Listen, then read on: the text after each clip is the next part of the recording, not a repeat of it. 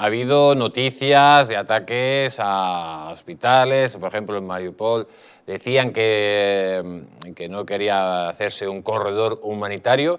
Sin embargo, hay otras noticias que salen por el otro contrario que dicen que los corredores humanitarios pues no los, no los quieren hacer los ucranianos porque quieren utilizar como escudos humanos a la población civil. Eh, ¿Qué información tienes tú de esto? ¿Que es culpa de Rusia que no quiere dejar salir a la población civil o que se está utilizando a los civiles como escudos humanos? Bueno, yo, yo, yo, me, yo me voy por un, por un término medio eh, que, que, contrarrestre contra las dos, eh, contra las dos propagandas o contra las dos versiones. Mira, en primer lugar, es fundamental entender que la guerra urbana es el infierno, la guerra urbana es la pesadilla eh, peor para todos, porque en la guerra urbana es cuando mayor número de lo que nosotros decimos en Estados Unidos collateral damage hay, es cuando más víctimas civiles e inocentes hay, siempre, desde Ramadi, desde Fallujah, desde Bagdad 2003, eh, desde Belgrado, eh, desde Dresde, desde Berlín, desde Hamburgo, imagínense, son los, los ejemplos son casi infinitos. Ahí es donde más eh, inocentes mueren, en la guerra urbana, poblaciones altamente pobladas, eh, con, alta, eh, muy alta y densa población viviendo en un área urbana. Eso es lo primero. A mí me parece que los rusos quieren sacar el mayor número de gente de allí para poder empezar entonces a bombardear de verdad. Hasta ahora la aviación rusa está bombardeando mínimamente, o yo creo que no, no, ni siquiera ha empezado a bombardear las ciudades como tal dentro de las áreas urbanas.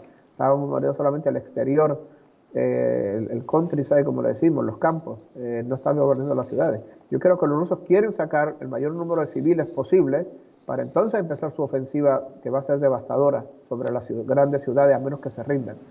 A mí me parece que lo que está pasando es que una vez que se abren los corredores estos y empieza a salir gente, hay, no es que los usen de, escudo humano, pero hay montones de milicias que son eh, fanáticos el batallón Azov y, milicias ultranacionalistas que son, eh, que son fanáticos, que están en la Guardia Nacional Ucraniana, no en el ejército como tal, pero en la Guardia Nacional. Y estos disparan siempre, van a disparar a, siempre, a, toda hora, son completos, no tienen ninguna disciplina, son indisciplinados y son eh, extremadamente difíciles de controlar por el ejército ucraniano y por el gobierno ucraniano, eh, estas milicias. Y lo que, van lo que hacen es que disparan siempre y en cualquier momento contra las tropas rusas. Entonces las tropas rusas disparan de vuelta, entonces el corredor se tiene que cerrar. Eso a mí me parece una explicación mucho más fidedigna de lo que está diciendo la propaganda ucraniana o lo que está diciendo la propaganda rusa. Me parece que es un término intermedio. Pero hay que entender una cosa, en, las áreas urbanas siempre va a haber eh, casualties, siempre va a haber bajas, siempre va a haber eh, daño colateral, collateral damage, porque es imposible, es como tratar de ir a una piscina y nadar en la piscina sin, sin mojarte. Es imposible hacer eso en una gran urbe. La otra cosa, es posible que ese eh, pieza de artillería o cohete o misil cayera sobre el hospital. Es completamente posible. Pero esto es lo importante. Estoy, estoy seguro que cayeron 10 misiles más sobre eh, objetivos militares ucranianos. ¿Qué pasa? Que los otros 10 que cayeron sobre objetivos militares ucranianos son invisibles para la prensa.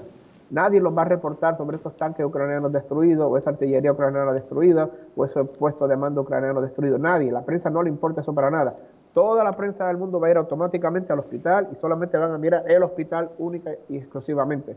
Los otros 10 cohetes que cayeron sobre objetivos reales, esos los va a ignorar la prensa occidental.